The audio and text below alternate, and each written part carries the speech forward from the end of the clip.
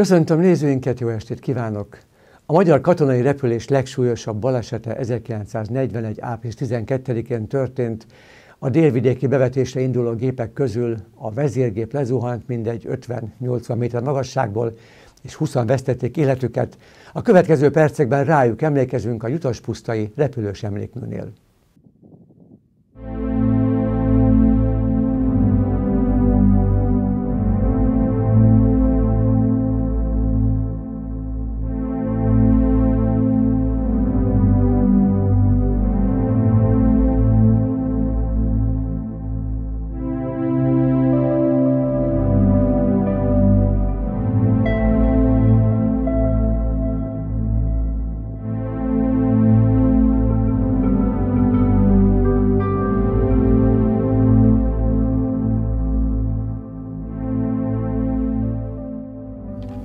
1941. április 12-én történt a Magyar Honvédség és jogelődje történetének legnagyobb repülő és ejtőernyős katasztrófája, ahol 20 vesztették életüket. Nem tudunk másképp emlékezni a vírus helyzetre való tekintettel.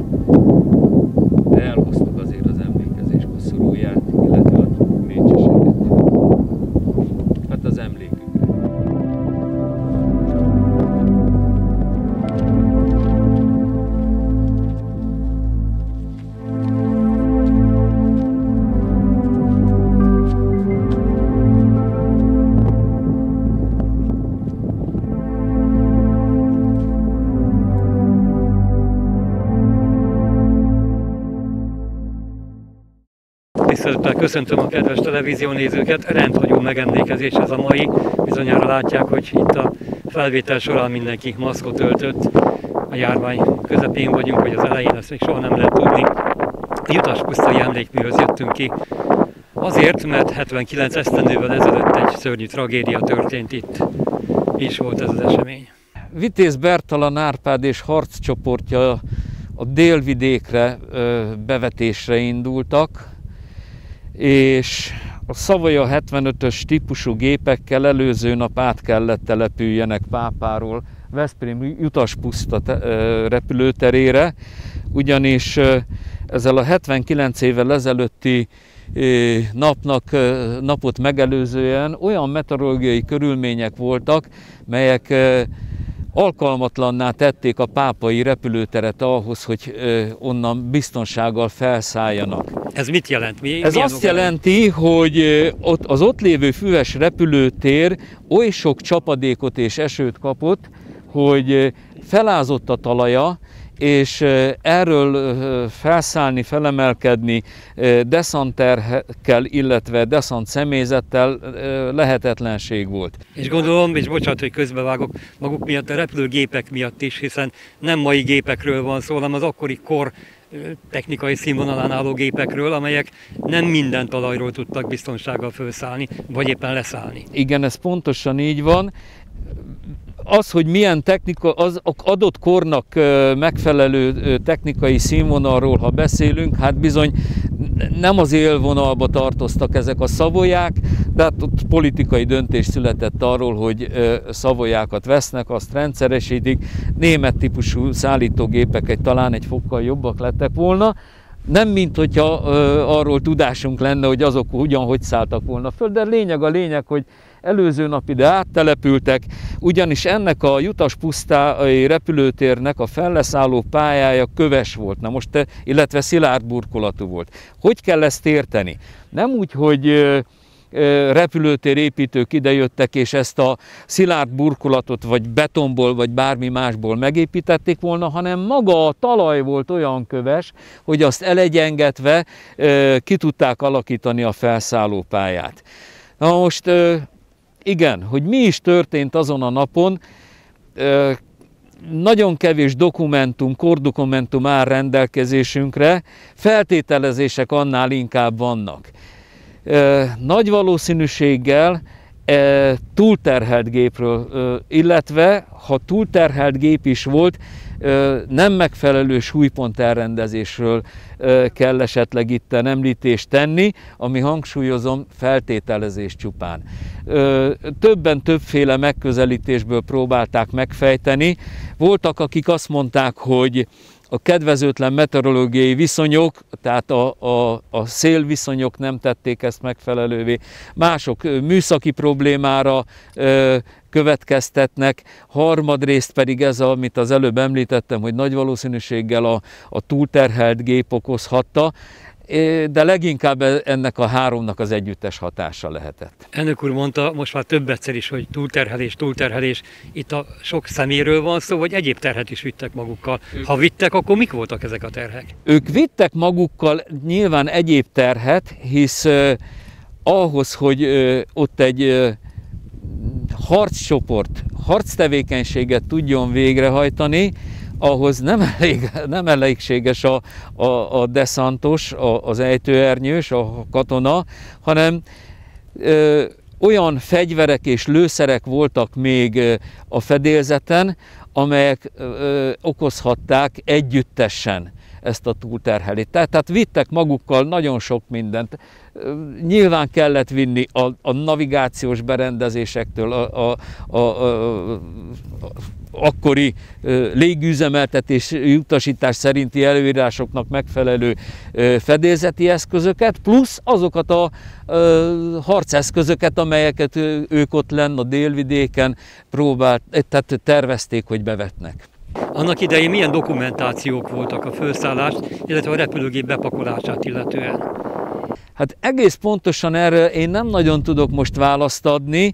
Ö, gyakorlatilag amit ma tudunk, ö, az a még rendszerváltás után élő túlélők, akik egyébként voltak néhányan, ugye 20 áldozatról beszélünk, és egy 8 fő, aki túlélte a katasztrófát, tudtak, illetve azok a, a, a, a gépszemélyzet tagjai, illetve ejtőernyősök, akik ezen a napon nem szálltak föl plán, pont a tragédia okán, tudtak még valamennyi információt adni arról, hogy milyen dokumentumok, illetve hát a dokumentumok hiányába mire támaszkodhatunk akkor, amikor elemezzük ezt a helyzetet. Térjünk akkor vissza, tehát a felszállásnál már lehetett érezni, vagy lehetett tapasztalni azt, hogy a gép túlterhelve van? Elmondások szerint Vitéz Bertalan Árpád és a gépparancsnoka között egy vita alakult ki. A, próbálták ezt a egyet nem értést palástolni, leplezni, de kiderült végül is, hogy igen, még egyszer mondom, hogy a rendszerváltás utáni elmondásokra tudunk csak hagyatkozni, amikor állítólag arról szólt a történet, hogy, hogy már a gépparancsnok is a, a teher deszant részének a, a, a nagy mennyiségére való tekintettel óckodott a felszállástól. Hát végül is ennek ellenére megtörtént a felszállás, és milyen magasan történt, vagy milyen magas bolt történt A következő a szemtanúk szerint 50-80 méter magasságban ö, jobb végre billent a gép, és ebből a, a billenésből bizony, ez nyilván ö, felhajtóerő elfogyott a szány felületén, ettől történt a, a oldalra billenés, és ebből ö, visszaesett a, a földre, és hát a repülőgép kialakítása, azt tudjuk, hogy faszerkezet, favász szerkezet, ezek alatt kell a főtartókat, főbordákat, bekötési csomópontokat, egyebeket érteni. Erre volt egy vászonborítás ráhúzva. Na most, amikor ez már maga gyúlékony, és ugye a repülőbenzin meg különösen gyúlékony.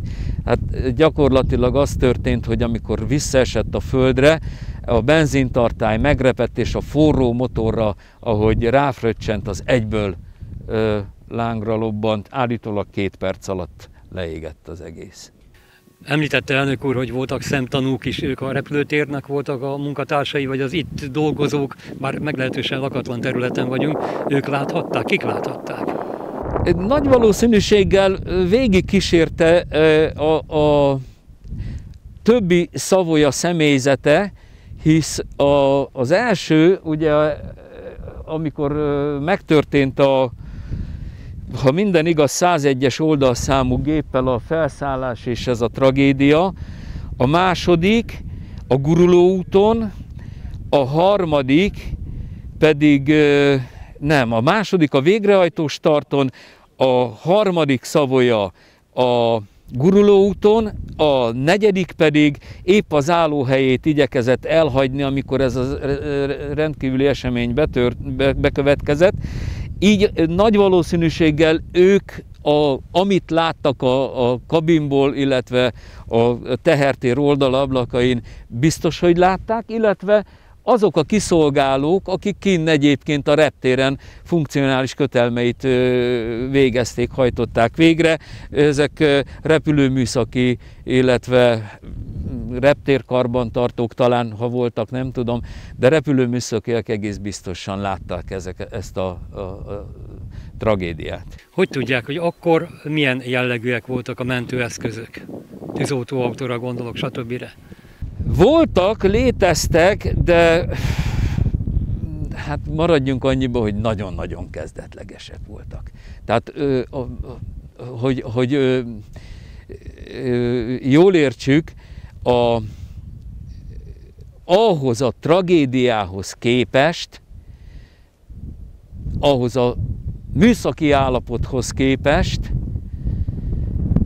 hát bizony a mai kornak megfelelő mentő és tűzoltó eszközökre lett, lett volna szüksége az akkori csapatnak, de hát ugye nagyon gyerekcipőbe járt az még akkor ez időtájt. Maga a mentés hogyan történt? Látták, hogy lezuhan a repülőgép, elindultak gondolom többen. A sérülteket hogyan tudták például elszállítani? Igen, riasztották a városi mentőket is, és különböző a helyi és a különböző mentő autókkal rendelkező szervezetek, egészségügyi szervezetek nagy erővel érkeztek a helyszínre, hogy milyen idő intervallum ott kell ez alatt érteni, ezt most nem tudom megmondani, de ha jól emlékszem, valahol olyasmit olvastam, hogy egyes források szerint egy olyan 12, mások szerint 20 perc múlva már itt megkezdődött a mentés. A 12-re én egy kicsikét kérdőjellel gondolok, de a, nyilván a reptéren lévő állomány ment a géphez, amennyire csak tudott olyan gyorsan és közelítette, amennyire az égőgéphez hozzá lehetett férni, hát annál de igen, tehát ez csak elkép, tehát erről sincsenek írásos, hivatalos kordokumentumok sajnos, hogy, hogy éppen hogy történt egy ilyen mentés. Hányan maradtak egyébként életben? Nyolc fő maradt életben a, a, ebből a, a csapatból. Nyilván ők már nem élnek, hiszen azóta eltelt 8 évtized. Vajon, és ez egy nagyon fontos kérdés, és itt a kedves televízió nézőkhez is fordulunk, akiknek valamilyen rokona, ismerőse, családtagja részt vett, vagy túlélője volt ennek a tragédiának, tud-e arról, hogy egykori hozzátartozója itt hunyt el, vagy itt szenvedett ö, sérülést. Ha ilyenek vannak, akkor fordulhatnak-e önökhöz? Ó, természetesen. Hát a, volt ö, olyan megemlékezés, amikor ö, a rendezvényt azzal zártuk, hogy egy ilyen felhívást tettünk közé az itt megjelentekhez, hogy aki tud, akinek tudása van erről a kapcsolatról, hogy leszármazott, és valamikor, és most inkább arról kell beszélni, hogy nagyapa szinten, nagypapa szinten esetleg ennek a harccsoportnak tagja volt. Őket várjuk minden év április 12-én, vagy azt megelőző, vagy azt követő napon, amikor mi a megemlékezésünket tartjuk, jöjjenek, várjuk őket szeretettel, de hogy hol jelentkezhetnek, hogy ho, hova kell pontosan jönni, azt a veterán repülők és ejtőernyősök Veszprémi Egyesülete nevünket a Google keresőbe beírják, és megtalálnak minket. Akár az én telefonszámomat is megtalálják, akár a, a mi e-mail elérhetőségünket is megtalálják, és bárki, aki érdeklődik ezek felől a, a megemlékezéseink felől állunk rendelkezésére, szívesen várunk minden érdeklődőt. És gondolom az Egyesületi napokon is lehet jelentkezni. Mikor vannak ezek? Egyesületi napjaink kivéve a, a, a mostani vírushelyzetet, minden egyes szerdán Veszprémben az Agóra, a Városi Művelődési Központ részünkre kijelölt termében, nem mindig ugyanabba a terembe, portás eligazítja, minden szerdán 16 órától itt vagyunk, Egyesületi napon. Térjünk egy kicsikét most vissza ahhoz a táblához, amelyik itt előttünk található, és 20 gyertya veszi körül, illetve hát a koszorú is. Ezen az áll, hogy Veszprém földjén és Veszprémben hősi halált halt repülő és polgári áldozatok emlékére készült ez a tábla. Tehát nem csak annak a 20 embernek, aki itt elhunyt annak idején a tragédia következtében, hanem voltak sajnálatos módon egyéb repülős tragédiák is. Igen, itt a Magyar Veteránrepülők Szövetségének jogelődjénél merült föl először, hogy a, ennek a tragédiának az áldozatai emlékére egy emlékművet kellene állítani. És mivel itt történt Jutas pusztán, az időtájt még működött a Jutas pusztai baráti kör, aki erről tudomást szerzett, és ők is támogatták ennek az emlékműnek a felállítását, és természetesen elsősorban a, a tragédiában életüket vesztettekről szól, de, mint ahogy a, ez a tábla e, tanúsítja, a, mindazon másokról, akik, akik hősi halált haltak, úgy katonák, mint polgári, alkalma, polgári lakosok. És akkor térjünk még vissza néhány gondolat erejéig ehhez a nagyon szép és nagyon jelképesen megfaragott emlékműhöz. Ki készítette, és Igen. mik a jelképek rajta? Igen, hát M. Nagy József, faszobrász, aki idézőjelben téve rovott múltjába, amire büszke lehet, mélységi felderítő volt. 130 körüli ejtőernyős ugrással is rendelkezik, de ő nem maradt meg a, a katonai pálya, a katonai hivatás mellett, hanem ő, ő úgymond átállt faszobrásznak, már mondhatom ezt így. De ezen kívül nagyon sok jelentős más alkotása is látható köztereken Magyarországon. Szintén ezzel a tragédiával kapcsolatban pont a Nemesvámosi temetőben is van egy emlékmű, egy fafaragvány, ami szintén az ő nevéhez fűződik. És egyszer beszéltem vele, és kérdeztem, hogy ha erre jár a vándor, mire gondoljon, amikor lát egy fordított keresztet? És elmondta nekem, hogy hát a két tartó a szimbolizálja az imára emelkedő két alkart. A fordított kereszt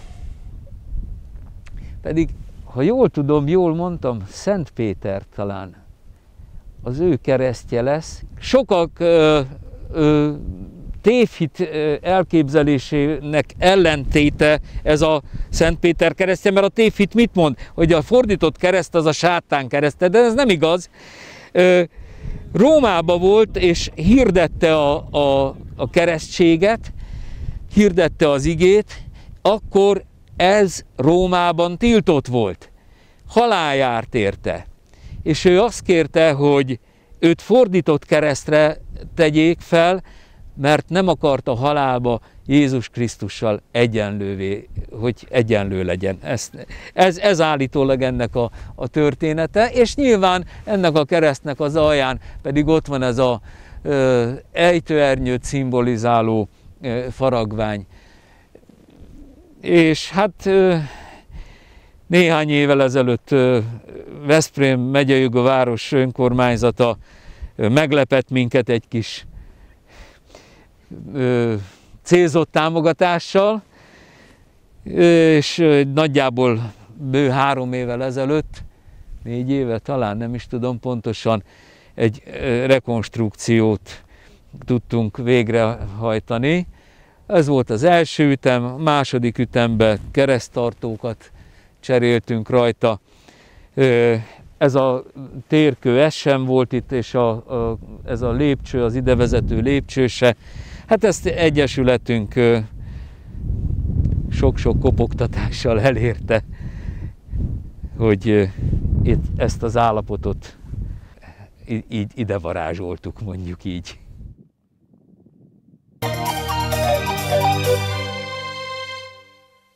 Folytassuk magazinműsorunkat egy szengáli összeállítással. A következő perceben Gál Hubával beszélgetünk, és felidézzük egy fiatalember életét, aki szengáli származású, részt vett a szabadságharcban, és valamiért mégis a településen élők 1865-ben agyonverték. Hogy miért és ki volt ő, megtudjuk a következő összeállításból.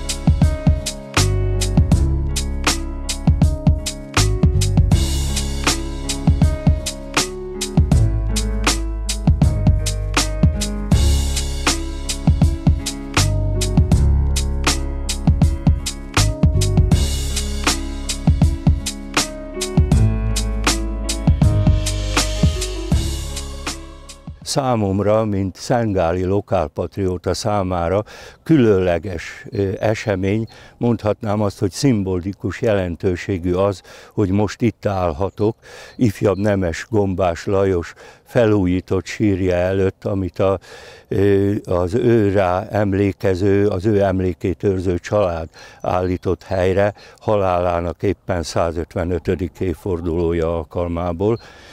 Különösen fontosnak érzem ezt a helyet, vagy szimbolikusnak érzem azt, hogy most 2020-ban a globalizáció átkait megérezve a koronavírus járvány kellős közepén, aztán Trianon századik évfordulóján, az összetartozás, de mégis az összetartozás évében és az összetartozás napjához közeledve állhatok itt, most nagy héten, virágvasárnap után, de nagy péntek előtt, de szívünkben mégis húsvétot, a feltámadást, a megújulást várva emlékezhetek meg Gombás Lajosról, arról az emberről, akit most, ahogy említettem, 155 évvel ezelőtt öltek meg, halt mártír halált.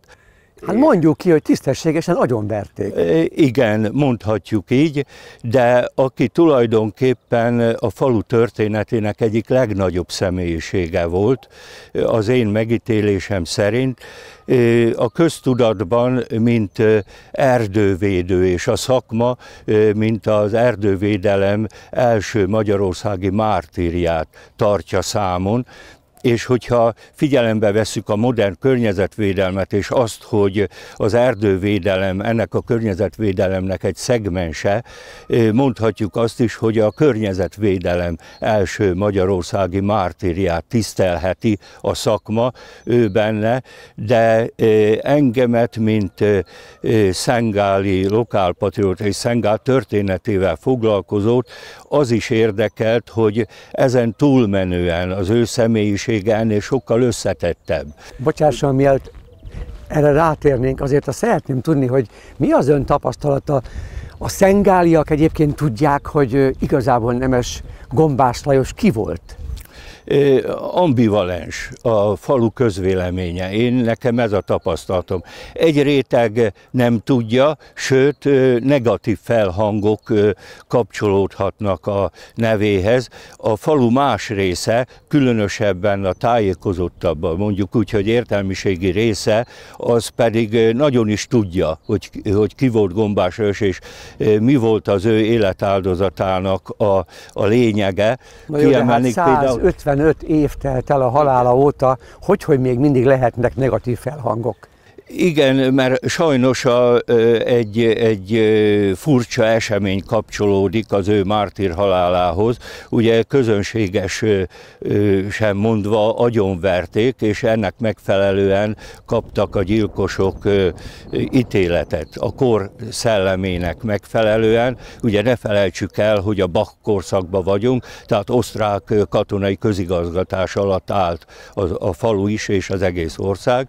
Ennek megfelelően elég súlyos büntetéseket róttak ki nagyon sok személyre, de 67-ben, ez 65-ben volt, 67-ben a kiegyezés miatt amnestiát kaptak. És a gyilkosok igazoltnak érezték az ő cselekedetüket az amnestia révén, és ezért maradt meg ez a negatív felhang. Tehát ők igazából abban az időben nem fogták fel, hogy amit Gombás Lajos tett, az tulajdonképpen az utókor számára egy igen fontos igen, dolog volt. Igen, igen, nem fogták fel, hiszen Gombás Lajos cselekedete vagy élete azért játszik különösen nagy szerepet a falu történetében, mert a falu polgári átalakulásának élharcosa volt Gombás Lajos. Csak a, a tevékenységének egy szegmense volt ez a bizonyos alzártartói hivatal elfogadása, amely amely végül is a az ő mártír halálához vezetett.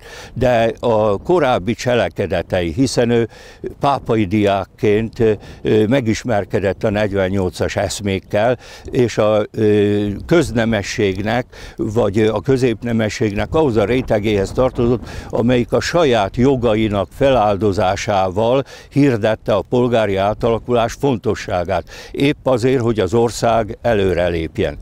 Tehát ő ezekkel az eszmékkel megismerkedett, 48-ban honvédként vett részt a szabadságharcban, és utána itt bujkálva a szengáli hegyekben, később, amikor enyhült a nyomás, részt vett a szengáli közéletben iskolát támogatott, egyházát támogatta, olvasóegyletet, úgynevezett kaszinót hozta létre, anyagi áldozatokat is hozott az épület felépülésével, tehát a polgári átalakulásnak élharcosa volt.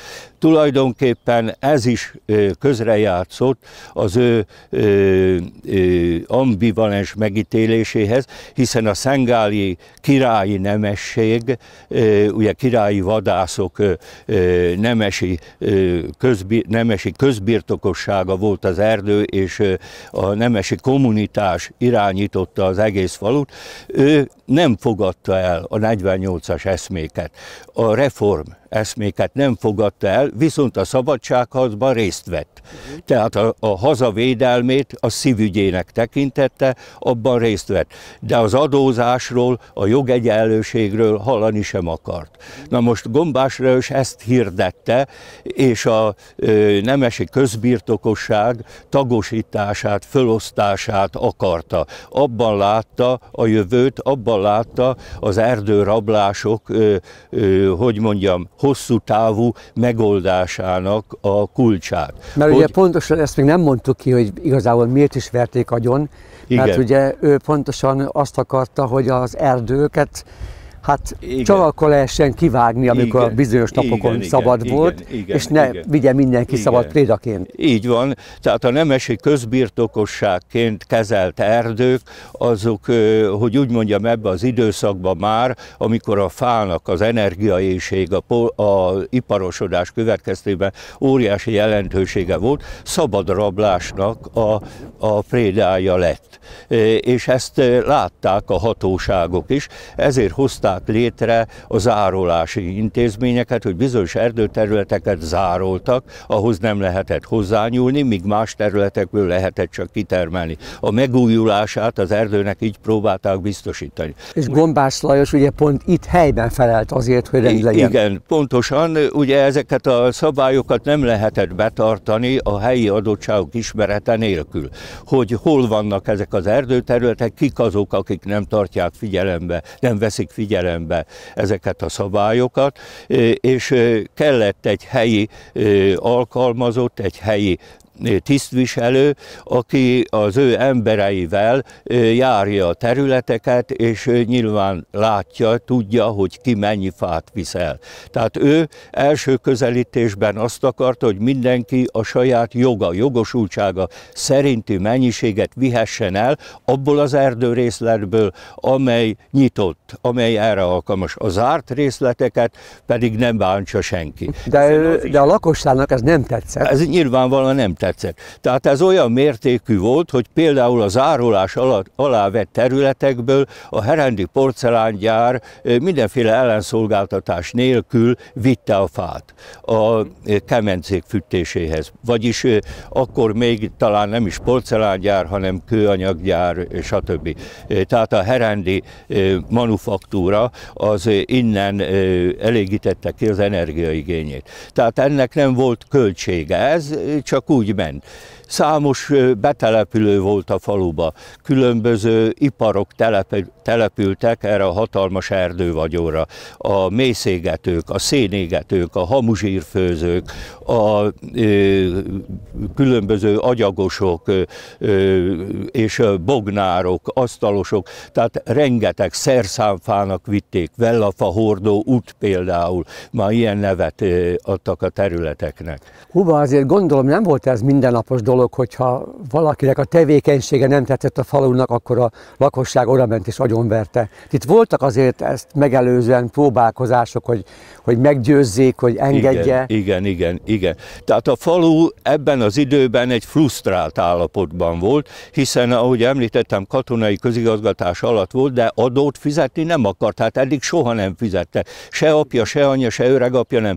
Katonaságot kellett kivezényelni, hogy az adót behajtsa végrehajtsák az új törvényeknek megfelelően. Ez, ez óriási feszültséget jelentett a faluban. És akkor Gombás Lajos, a 48-as honvéd, aki szinte bujkált és majdnem életét áldozta ugye a, a, a haza szabadságáért, az egy, ezzel a fordulattal, hogy ő mégis az erdővédelemben a hatóság tisztségviselője lett, ellentétbe került a faluval. Tehát úgy ítélte meg a a vezető réteg, hogy ő elárulta azt a nemesi hagyományokat, azokat a nemesi hagyományokat, ami évszázadok óta jellemezte a falut. Ő egyébként akkor elég fiatal volt, még ha jól emlékszem, 35 Igen. körül volt. Ezért is utaltam erre a, a husvéti időszakra, nagy hétre, hogy Krisztusi kort ért meg.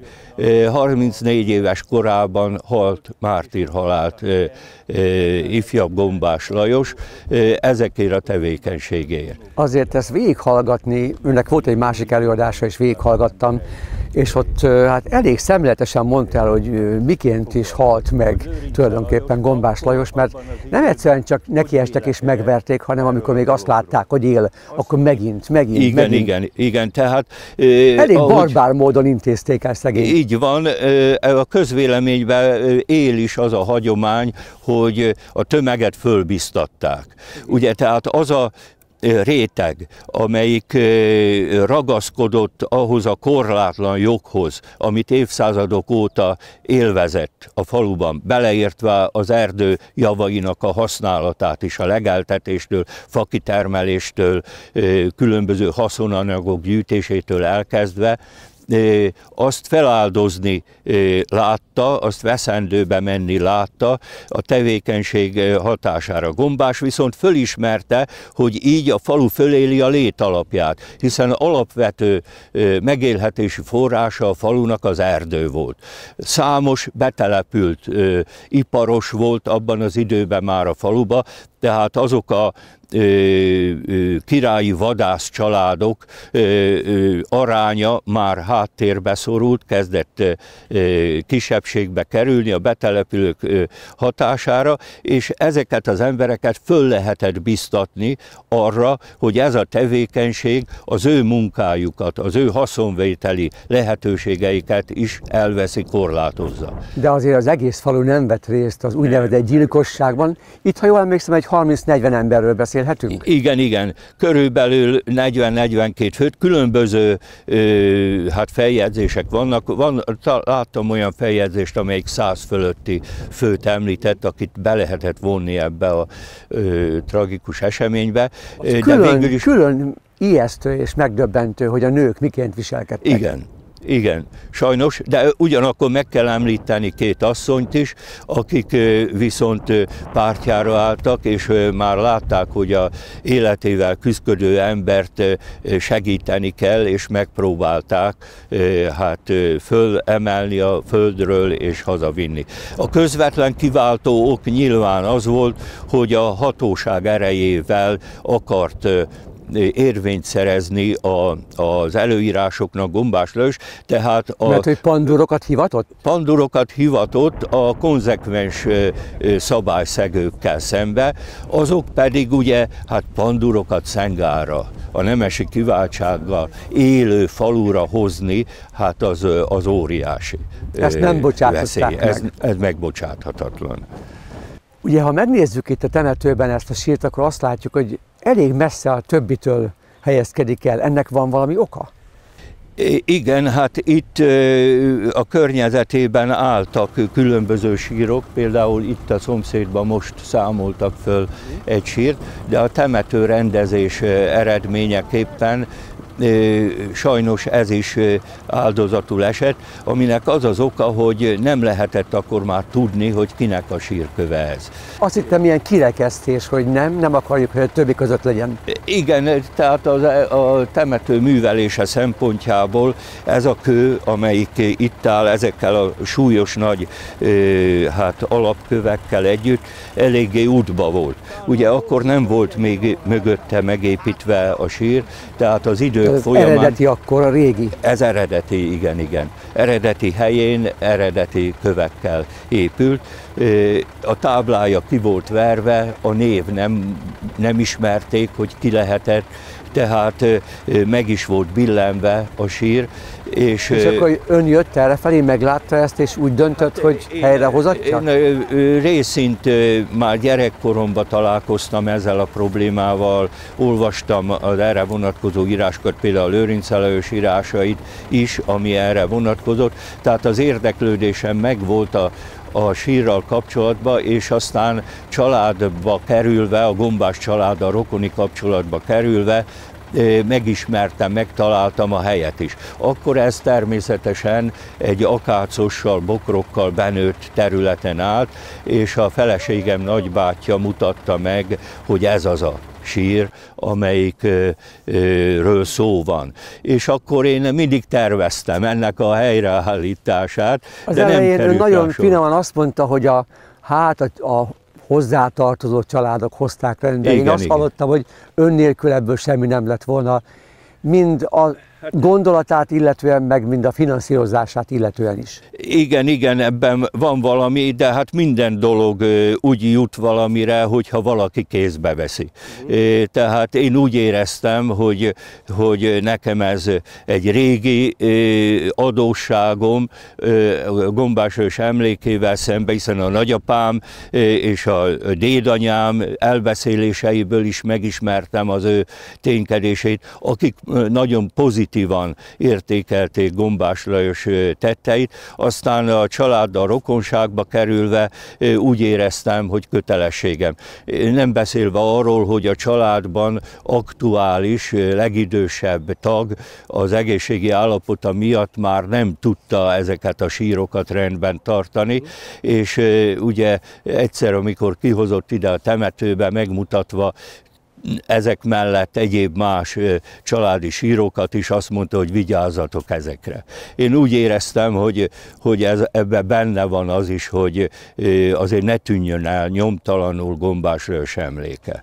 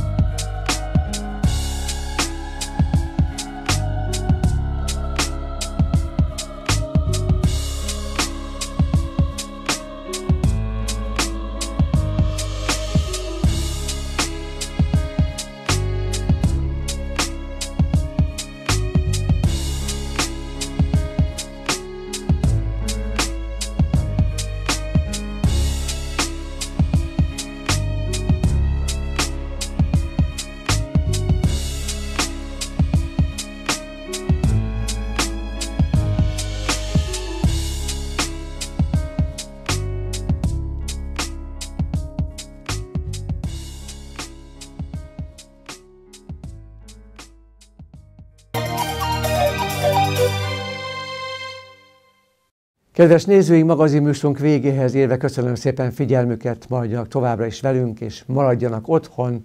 Bízunk abban, hogy hamarosan találkozhatunk kint a szabadban is. Munkatársaim nevében is szép estét, jó szórakozást kívánok, viszontlátásra!